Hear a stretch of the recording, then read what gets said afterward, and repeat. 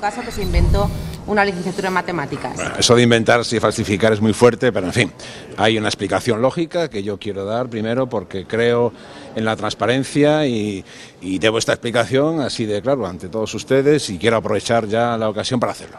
En primer lugar, lo que yo soy licenciado en Derecho, que es lo que consta en mi currículum actualmente, y eso es lo que soy. Y estudié matemáticas en su día, mi primera etapa universitaria, porque voy por la tercera ya, estudié matemáticas en su día.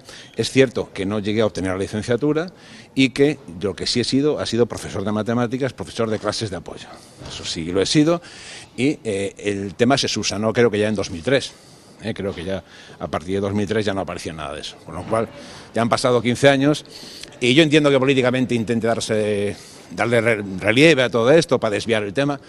Otros temas más importantes, lo entiendo, pero la verdad es la que es y nada más. Así de claro, de rotundo y de sencillo. Pero sí que hubo unos años entonces en los Hubo unos años en que, en que que figuraba eso, efectivamente. Sí, O sí. sea, existía irregularidad. Existía irregularidad durante unos años, sí, pero insisto, en, do- en 2003 se corrigió y ya está. Donde no había ninguna irregularidad es en que yo he sido profesor de y matemáticas, ante una clases de apoyo, irregularidad, ¿cómo se debe de actuar? pues eh, corrigiéndola como se ha hecho en 2003.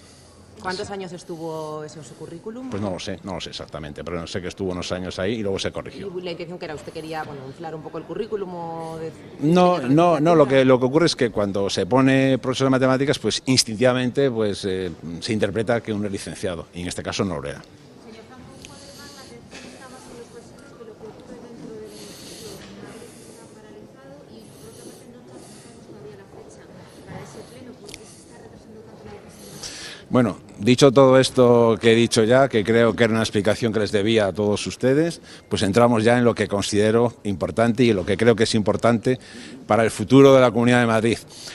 Eh, creemos que es urgente que haya un gobierno que se dedique a resolver los problemas de los madrileños.